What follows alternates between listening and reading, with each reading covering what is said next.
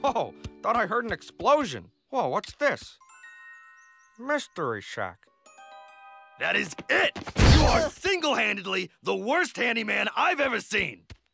Uh, hey, excuse me, sir. Hey, you, gumdrop. Think you can fix a golf cart? Well, uh, I- don't know if I. Boom, you're hired.